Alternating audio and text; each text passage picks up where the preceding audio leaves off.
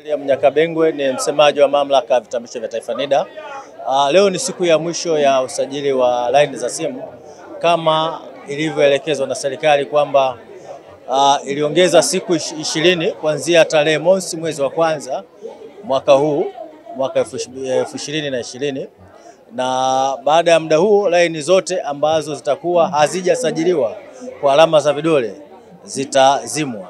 Kwa hiyo hayo ndio maelekezo ya serikali, na sisi mamlaka ya vitambulisho vya NIDA tunaingia kwenye jukumu hili kama mamlaka ambayo ina wajibu wa kusajili watu na kuwapatia namba za utambulisho wa taifa na vitambulisho vya taifa ambavyo vinatumika kwenye usajili huu wa laini za simu kwa alama za vidole. Kwa hiyo NIDA imeendelea kutoa huduma.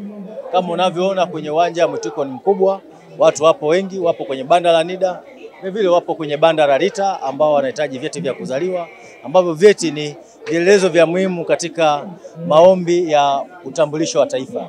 Kwa hiyo NIDA inaendelea kutoa huduma na tuko hapa, tunaendelea kuhudumia watu kama ambavyo serikali imeelekeza kwamba tutatoa huduma kuanzia saa moja asubuhi mpaka saa moja usiku.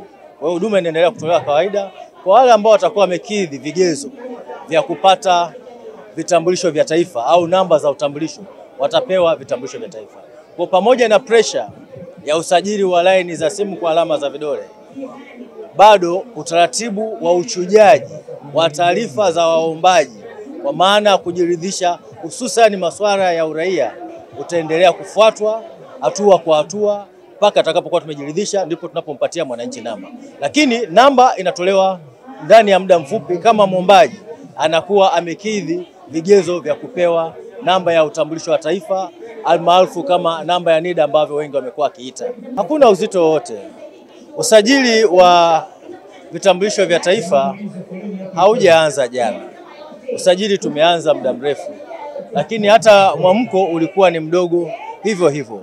Tulipitisha matangazo, tulipitisha road shows, bado watu hawakujitokeza, na hata baada ya Mheshimiwa Rais na kutangaza kwamba uh, ukomo wa kusajili laini za simu kwa alama za vidole ambapo alama hizo unazipata kwenye vitambulisho vya taifa au kwenye namba za vitambulisho vya taifa, bado mwamko ulikuwa ni mdogo mwanzoni. Watu walikuja kuongezeka siku za mwisho mpaka tunavyozungumza hapa. Laini hii unayoiona ambayo imeanzia kule kwenye tent mpaka hapa, si waombaji wa namba za vitambulisho vya taifa, ni waombaji wapya wa vitambulisho vya taifa. Kwa hiyo utashuhudia mwenyewe, hao ni waombaji wapya wa vitambulisho vya taifa.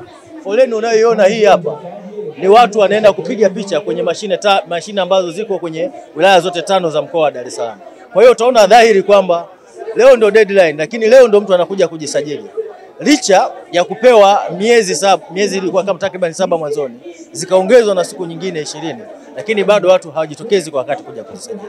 Lakini ukiacha hiyo, kuna namba za utambulisho wa taifa zaidi ya milioni sita na laki nane zimekwisha zalishwa na watu wanazo. Hawa watu hawajajitokeza kwenda kusajili laini zao za simu kwa alama za vidole. Kwa hiyo namba ambazo zimekwisha tumika kati ambazo NIDA imetengeneza ni takriban milioni tisa tu, na ukiangalia kwa wastani mtu mmoja anakuwa na zaidi ya namba moja, anakuwa kama namba tatu au zaidi za simu. Kwa hiyo ukiona kama watu hao kweli wakijitokeza Ah, namba itakuwa kubwa sana ya watu ambao watakuwa wamekamilisha usajili wa laini za simu kwa alama za vidole. Lakini wapo wale wanaosubiri wanasema, hebu subiri tuone. Kwanza, watakata wakati, wanasema wakati, na utaangalia hata hapo wakati mkuu wa mkoa anazungumza, wengi walikuwa wanaomba tena kuongezewa nini siku, lakini ukiongeza siku, watu wakiongeza hizo siku tena wataomba tena ziongezwe siku nyingine, kwa maana kwamba watu hawaji kwa wakati kujisajili ili waweze kupata aa, namba za utambulisho wa taifa, waweze kufanyeje kwenda kusajili aina zao. Kwa hiyo hii inahitaji uh, hasa kuhamasisha watu, tuendelea kuhamasisha na wakati mwingine kuwasukuma ili waende kusajili. Kwa hiyo kuna mwingine anasema hebu ngoja tuone wakizima inakuwaje. Kwa hiyo wanataka kuona outcome ya kuzima simu itakuwa ni nini, lakini kweli kwa maelekezo ya serikali laini zitazimwa na watakao kuwa tayari, sisi tuendelea kuwahudumia. Kwa hiyo leo tuko hapa tangu saa moja mpaka saa moja usiku, tuendelea kutoa huduma. Vituo vyetu vya usajili vitaendelea kufanya kazi kama kawaida. Kwa hiyo ambao wako tayari tutaendelea kuwahudumia wale wenye miaka kumi na kuendelea. Kwa NIDA ipo tayari na kiasi kwa tunafikisha miaka kumi na minane ambao watakuwa wanafikisha wafuate sheria. Sheria inaelekeza uh, mtu anapofikisha miaka kumi na minane ndani ya siku tisini anatakiwa awe amejisajili na kupatiwa kitambulisho cha taifa. Kwa hiyo hao waendelee kufuata utaratibu, lakini zoezi hili vile vile si la raia wa Tanzania tu. La, zoezi la usajili kwa ajili ya kupata namba na kusajili laini ya simu linawahusu pia raia wa kigeni. Kwa hiyo wageni wanaoishi nchini kwa zaidi ya miezi sita wanatakiwa wasajiliwe na NIDA, wapate namba za vitambulisho na vitambulisho vya taifa, ili nao wasajili laini zao za simu. Kwa kama ni wawekezaji, wafanya uh, wafanyakazi uh, wafanyakazi wa mashirika mbalimbali, wanafunzi wa kigeni ambao wangetaka kuendelea kuwasiliana na familia zao nje ya nchi au nchi ambazo wanatoka nao wanatakiwa kusajili laini zao na wanatakiwa kuwa na vibali vya kuishi nchini na vibali vya ku, uh, kuka, kufanya, kufanya kazi nchini na pasi za nchi zao ambazo bado zina uhai wa zaidi ya miezi sita. Kwa hiyo nao wajisajili waweze kupata hiyo uh, huduma, wasije wakasishiwa huduma bila kufahamu kwamba huduma hiyo imesitishwa kwa sababu gani.